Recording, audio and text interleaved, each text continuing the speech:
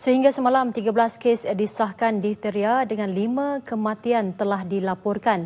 Tiga kes kematian itu dicatatkan di Sabah manakala masing-masing satu kes kematian di Melaka dan Kedah.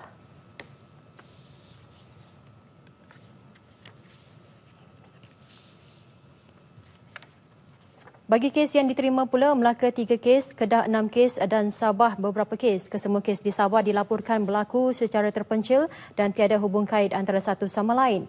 Manakala kes difteria di Kedah dan Melaka adalah kejadian kluster dalam keluarga. Anggota kesihatan di semua negeri telah sedia maklum kejadian difteria ini dan telah meningkatkan aktiviti surveillance masing-masing. Dalam satu kenyataan, Ketua Pengarah Kesihatan Datuk Dr. Nur Hisham Abdullah berkata, perkhidmatan imunisasi di klinik-klinik eh, kesihatan, hospital dan juga klinik swasta dilaporkan mendapat sambutan yang memberansangkan. Untuk itu, beliau menyeru agar semua ibu bapa terus komited membawa anak-anak mendapatkan imunisasi mengikut jadual.